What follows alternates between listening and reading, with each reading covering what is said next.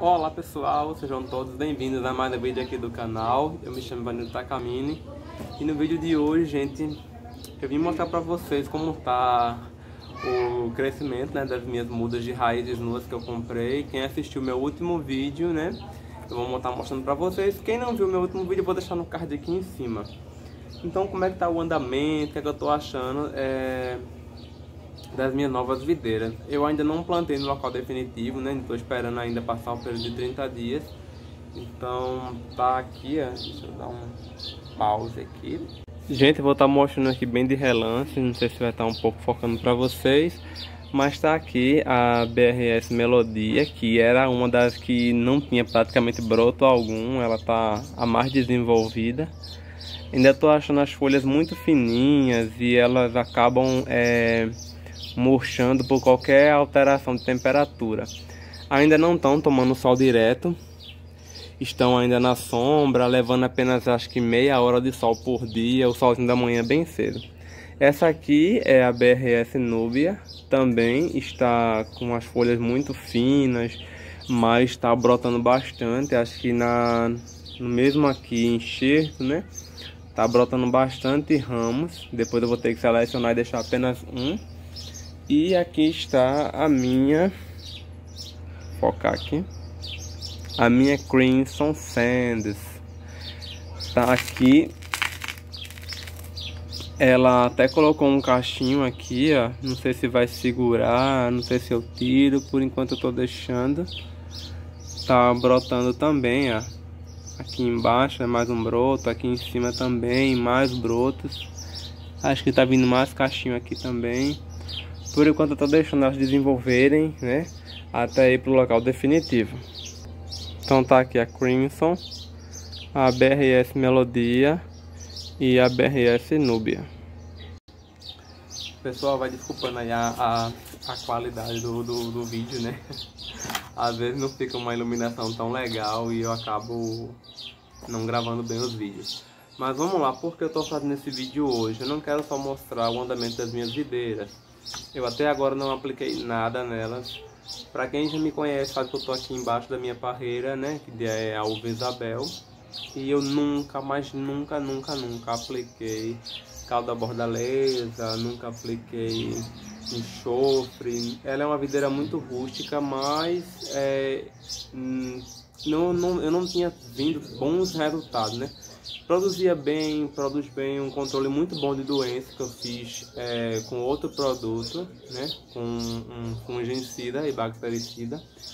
Porém, se eu aplicar esses produtos, né, a causa bordaleza e o enxofre, eu vou ter resultados melhores, tanto na florada, controle de milho, oídio, e principalmente porque eu comprei é, cultivares um pouco mais sensíveis a essas doenças, né? Assim, que a gente tem que ter um cuidado maior.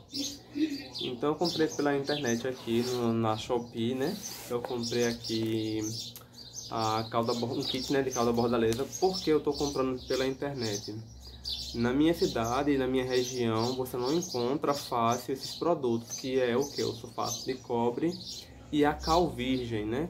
Então chegou aqui pelo correio, eu fui buscar na casa dos meus pais não encontro fácil de maneira nenhuma.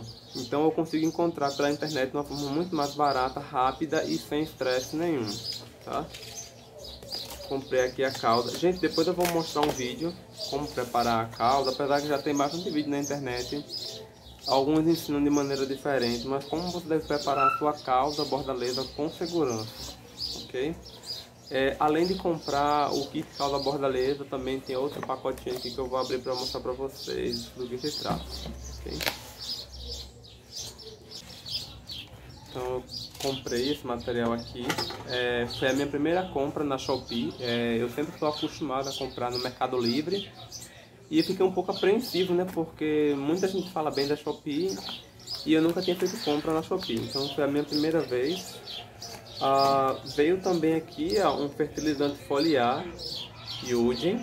Eu nunca ouvi falar, depois vou dar uma pesquisada, mas veio aqui ó, 28, 10, 10, 10, 28, 10, 10, né?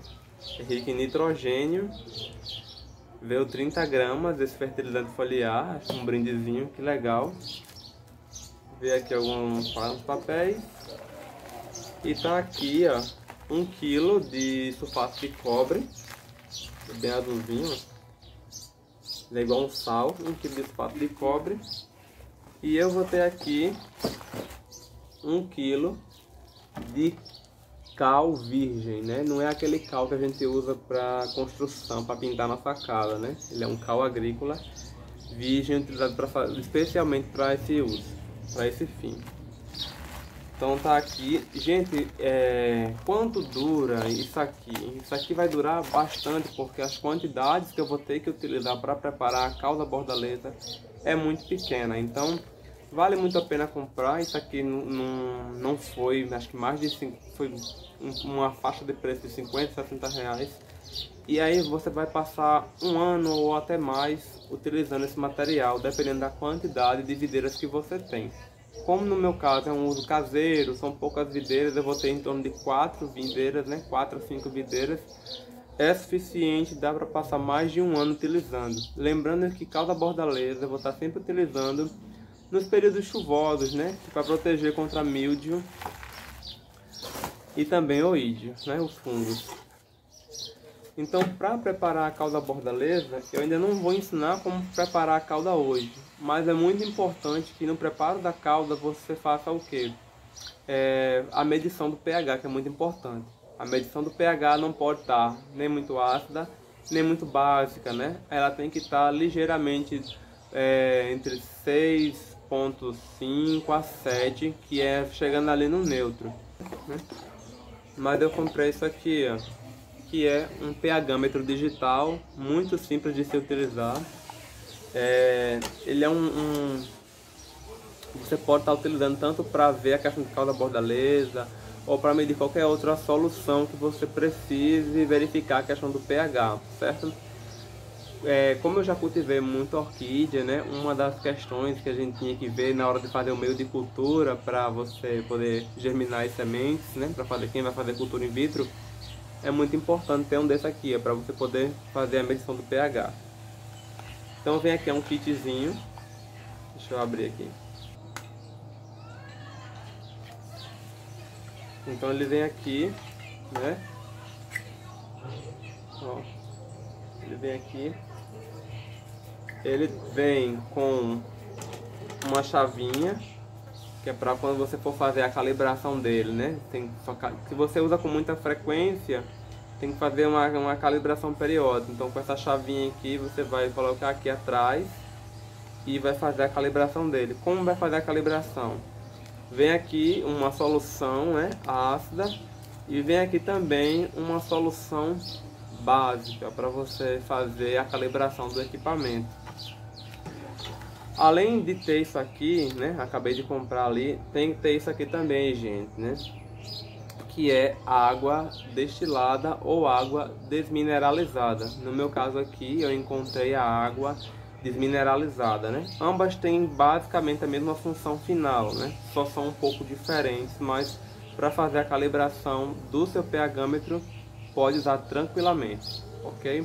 Vou fazer vídeos futuros falando como utilizar as quantidades, como você vai calibrar o seu pHmetro, a forma de utilizar corretamente, como fazer a calda bordaleza, então fica ligado, me segue aqui no canal se você ainda não é inscrito, compartilhe esse vídeo para mais pessoas que você conhece, deixe aqui o seu like, é super importante para ajudar a fortalecer o canal, e é isso, vou ficando por aqui, até o próximo vídeo, tchau, valeu!